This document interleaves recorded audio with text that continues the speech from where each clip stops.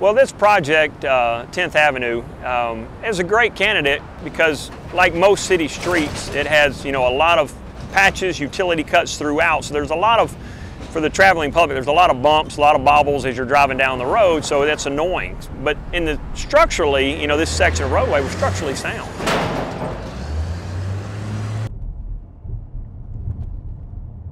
You know, a lot of agencies may go in with other treatment types where they're just trying to, to seal up the surface and stretch that pavement out for a few more years. In this case, the thin overlay treatment can do that. The mix that we're utilizing is a, is a very uh, tight mix that, that seals up that surface. But at the same time, it's a very economical approach because we can go in and mill off just a little bit of that unevenness that's on the surface from patching and some of the, the stresses that have occurred with it being a city street.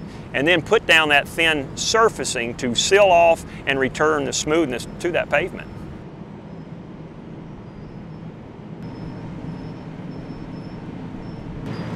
Typically in pavement preservation, uh, there's no milling involved. In this case, uh, because of our application with the thin overlay, we do have the ability to go in and mill off just a little bit to help true up that surface again. So we are milling just a little bit off our surface and then returning the smoothness with our thin overlay.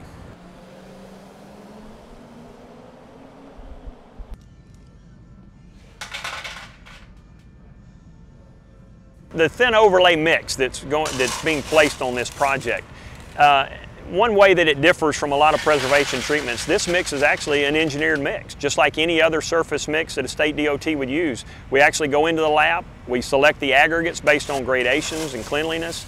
Uh, we put those aggregates together in a certain blend. Uh, we, we run through a mix design where we select optimum AC content. We engineer the mix. It's not just uh, a maintenance mix that we pull out and throw down. So it is an engineered mix, and, and it's a mix because of its size that we can place very thin.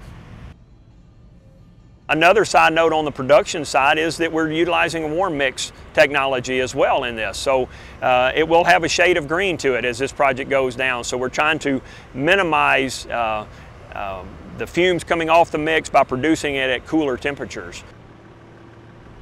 The warm mix technology that we're using also gives you an added benefit of compactability.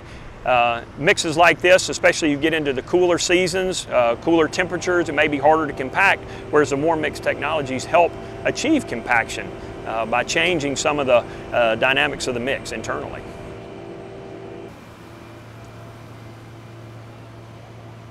Well, the first step after the millings and the cleanup would be the tack coat. A very critical part, even with a thin overlay, maybe even more critical with thin overlays because we're putting down such a thin layer uh, the potential of that layer to slip and slide. So our tack coat is very important, as with any paving project, making sure we have good application, uh, good spread with that tack coat, the appropriate shot rate, uh, and that we also allow time for that tack to, to break and then cure out as that mix is placed on top of it. Well, really the paving process, the actual laydown of the overlay is, is very similar to conventional paving. One caveat is that it is such a thin layer uh, care needs to be taken on the cooling. It will can tend to cool much rap more rapidly, and so with that, the rollers you know have to be on their game and right behind the paver, making sure they can get their compaction. Uh, but as far as uh, conventional paving techniques are you know are, are, followed, best practices there. Um, also, in regards to uh, the joints, you know, making the joints, they will probably find that with this thin mix, it's much easier to work it in around curb and gutter, manholes, working joints, because it's a smaller, tighter mix. The workability of it typically is much higher and much uh, easier to work in, especially in a city street environment.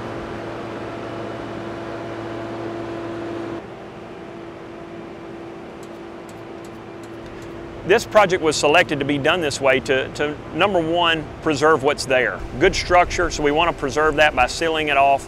But we also wanted to uh, return a smooth ride. And we did that both with the milling, but then ultimately with the finished product. The thin overlay allows us to get a very smooth finished product so that the traveling public thinks that you address very deep issues when all we did was address the surface.